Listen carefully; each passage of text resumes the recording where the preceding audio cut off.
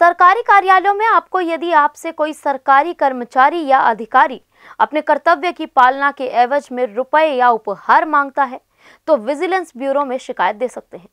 ये शब्द आम लिखे मिलेंगे, लेकिन सरकारी विभाग में किस तरह कर्मचारी गुंडागर्दी फैलाते हैं, इसका जीता जागता उदाहरण आज पानीपत के सामान्य अस्पताल में देखने को मिला, जहाँ पिछले तीन दिन से लगातार अपने हाथ का इलाज करवाने के लिए एक महिला चक्कर काट रही है, लेकिन भीड़ ज़्यादा होने के चलते उनका नंबर नहीं आया।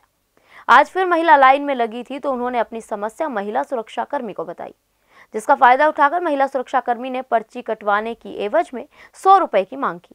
आरोपों की माने तो पीड़ित महिला ने पैसे देने से मना किया तो सुरक्षा कर्मी ने उसे धक्का देकर बाहर निकलने को कहा। इस पर महिला ने हंगामा कर दिया। मामले की भनक लगने के बाद पुलिस मौके पर पहुँची और महिला को समझाकर मामला शांत किया।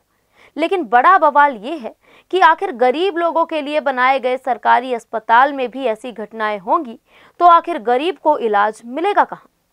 वही सीएमओ ने इस मामले में जाँच करने की बात कहते हुए कहा कि अगर कोई कर्मचारी दोषी मिलेगा तो कार्रवाई की जाएगी। कईयों के साथ मैंने ऐसा बंदा देखा है। ये स्टा, सरकारी स्टाफ के नाम पर बिल्कुल गुंडाराज है। साथ में पुलिस साथ दे दे इनका। ये क्या है कि डॉक्टर तुम्हारी सेवा के लिए बैठे हैं। पर मनचाई कर रहे हैं अपनी। डॉक्टर नहीं कर रहे लेकिन स्टाफ वाले कर रहे हैं। ये छोटे तबके के हैं। नर्सिंग स्टाफ है सिक्योरिटी स्टाफ है सब का सब गुंडाराज है जी। तो करती है कुछ नहीं।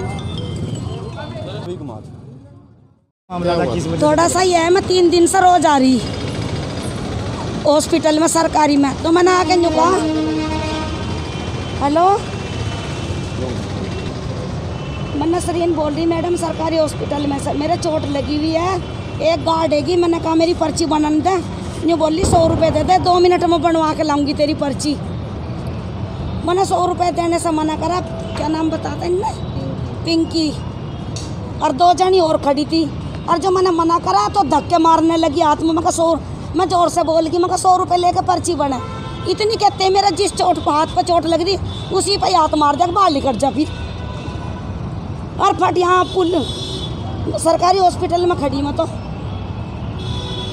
ये तो रिश्वत ले, लेके पर्ची बनवावे अलग अलग हम कहाँ से लावेंगे रुपए? हाथ में मैं बीपीएल की फ़ोटो कॉपी ले रही, अपने आधार कार्ड ले रही।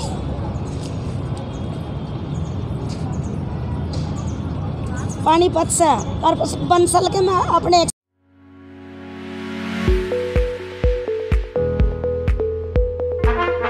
ब्रेकिंग न्यूज़, रास बसेरा आपके लिए लेकर आए हैं खास मौका। वो भी हरियाणा सरकार की अफोर्डेबल हाउसिंग योजना के साथ, जिसके तहत आपको मिलेगी छह लाख रुपए तक की सुविधाओं के रूप में सब्सिडी जैसे कि free parking EDC IDC free club charges free और मेंटेनेंस फ्री और कोई हिडन चार्जेस भी नहीं। तो आज ही बिना देर किए अपने सपनों का घर बुक